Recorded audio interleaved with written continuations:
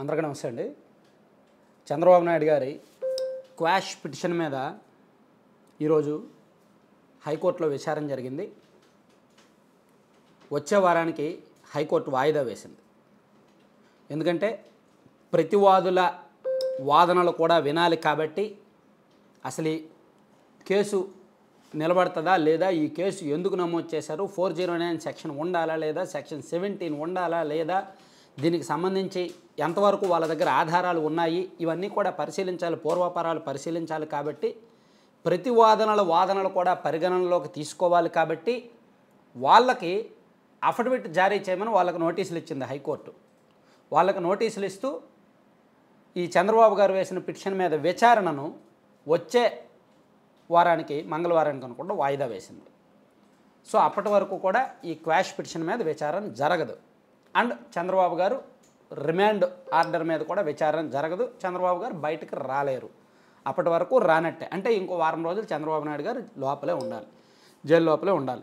లేదు దీని మీద అత్యవసరంగా విచారణ జరపాలి అని చెప్పి సుప్రీంకోర్టుకు వెళ్తే ఏమో చెప్పలేం కానీ విచారణ అయితే మాత్రం వారానికి వాయిదా పడింది.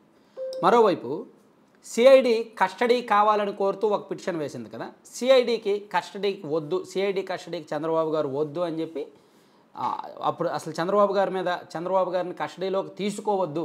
మళ్ళీ మేము చెప్పే వరకు తదుపరి విచారణ జరిగే వరకు అని చెప్పి ఆంధ్రప్రదేశ్ హైకోర్టు సిఐడికి కూడా చెప్పింది ఆదేశాలు ఇచ్చింది.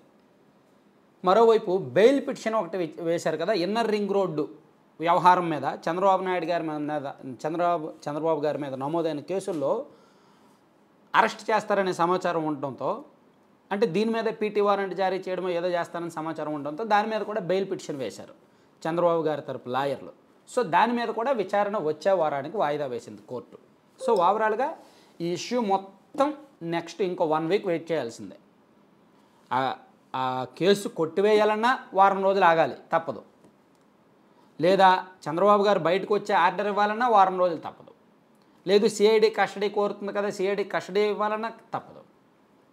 పాపం తెలుగుదేశం పార్టీ శ్రేణులు అయితే చాలా వెయిట్ చేశారు. ఏమో క్వాష్ పిటిషన్ కదా. ఈరోజు అత్యవసరంగా విచారణ జరుగుద్ది. ఖచ్చితంగా సాయంత్రానికి ఏదో ఒక ఆదేశం వస్తుంది అనుకున్నారు.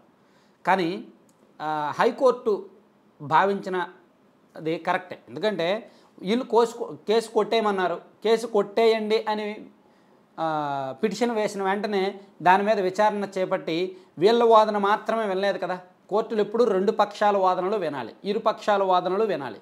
ఇదిగో పలానా వ్యక్తి మీద మీరు కేసు నమోదు చేశారు. ఆ కేసు చెల్లదు ఆ కేసు పనికిరాదు అని పలానా పిటిషన్ వచ్చింది. సో దీని మీద మీ అభిప్రాయం ఏంటి?